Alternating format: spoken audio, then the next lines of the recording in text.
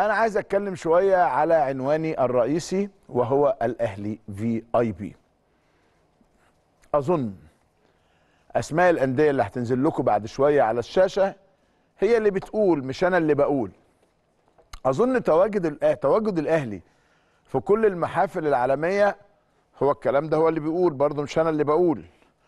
أظن لما تيجي في وسط 32 آه، فريق كلهم لهم احترامهم لكن لما تلاقي عمالقة أوروبا بتتكلم في ريال مدريد وبتتكلم في تشيلسي وبتتكلم تشيلسي وبتتكلم في اليوفي وبتتكلم في الإنتر ميلان لا بتتكلم في أسماء وبنفيكا وغيرها من الأسماء العظيمة العريقة الكبيرة جدا يبقى أنت في في في اي بي حقيقه يعني. ده النادي الأهلي وده قدر النادي الأهلي وده نجاح النادي الأهلي دائما وابدا. بتصور إنه الأهلي عنده مهمة صعبة جدا والمهمة إدارية قبل أن تكون فنية لأن هتكلم معاكم بالتفصيل لما أقعد بإذن الله. لكنه والله ربنا يخلينا الاهلي على اللي عمله وعلى اللي بيعمله وعلى اللي هيعمله إن شاء الله. بس إحنا طماعين. هنعمل إيه؟ إحنا محتاجين أكتر. محتاجين إن شاء الله نكسب كأس التحدي.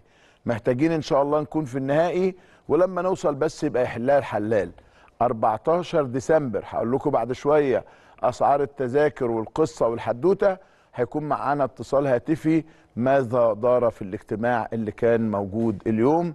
حاجة تشرف حاجة تفرح النادي الأهلي ويا رب دايما الأهلي مفرحنا.